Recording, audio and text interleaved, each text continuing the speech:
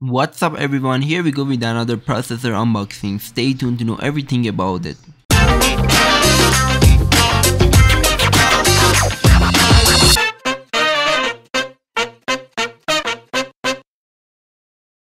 To begin, this is the Intel Core i7 12th generation. I got it from Micro Center at the price of 340 US dollar before tax.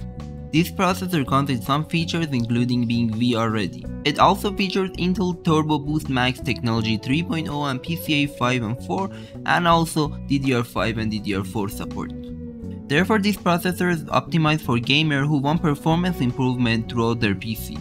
Also I want to mention that this processor has 12 cores, 8 performance cores and 4 efficient cores. While I'm doing the unboxing, I also want to mention that I unboxed many other processors including the other version of Intel Core i7, so if you're interested check out the link above or also at the end of the video. Also don't forget to like and subscribe if you like this video so far.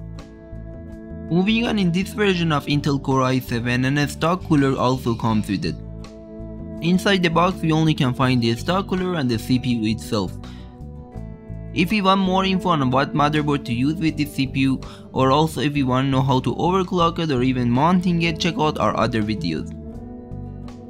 I also want to mention that in this series of Intel Core i7 the stock cooler is upgraded and it's much better than the previous version of including the Intel i5 and the Intel i3 as you can see right here however I still would not recommend to use this and instead I used an Hyper 212 from Cooler Master.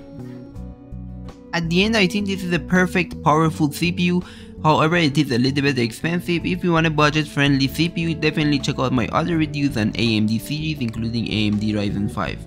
Other than this, thank you so much for watching this video and have a great day.